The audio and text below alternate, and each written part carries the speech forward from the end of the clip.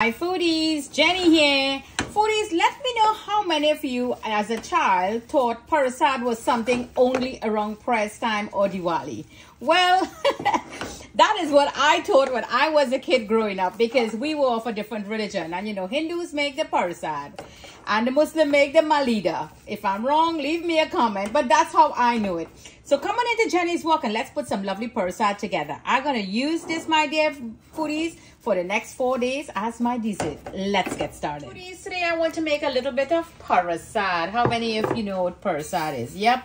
But this is not for prayers. This is only because I'm feeling like munching on so what something. we're going to do here is some cream of wheat. I'm doing a mixture, but I'm adding more cream of wheat than flour so let's just give this a little parch. If you have suji, you could use suji also. So by parching suji or the cream of wheat, you're just going to cook the rawness out of it. And it's just going to give it a lovely nutty, nutty flavor. So this is coming up really nicely, low heat. And I'm going to add a little bit of flour. Just all-purpose flour does the trick. Give it a little sieve. By sieving your flour, it just allows a lot of air to go through that. There you go. That looks marvelous. So let me continue to parch until it gets a beautiful color that I'm going to add my ghee in the pot and I want to cook. We're going to cook this now into this ghee or if you have butter, you could use the butter. So just raise that heat up a little bit now and let's just cook this nice and low until it's get really bubbly and nice. So there you go, foodies. The smell in my kitchen is to die for. The nuttiness from the roasted flour and that cream of wheat and the ghee infused in there. Oh, wow. This smells so great. So we're going to continue on very low heat. You're just cooking that up really lovely. Infused now with milk.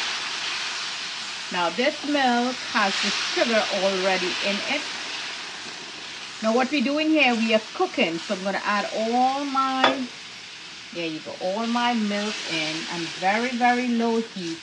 And just keep stirring it. We add, what are we doing? We are cooking the flour and the cream. Take a look. So this is coming really nicely. Just have plenty more cooking to do. So at this point now, I want to add my cardamom. A nice generous sprinkle. So this is going to add lots of flavors in there.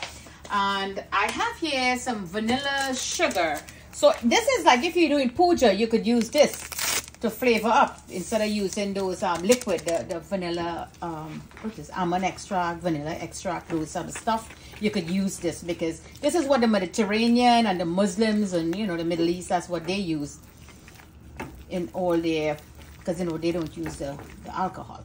Give that a good mix. And I know some of you like ginger. I don't really like ginger too much, but I will add a little hint of ginger to this and give it a good little mix and let's continue because this have to start letting go and getting like that little bowl of parasad right so here we go give it a good mix you see how it's loosened up nicely i want it to loosen up a little more than this but at this time i want to add all my raisins in there so that could get it infused and swell up and let its juices out also into this lovely cream of wheat and a little bit of flour parasad so there you go, foodies. Our parasad is all done now. And you know, you could just take it and make a nice little bolita or a little ball like so.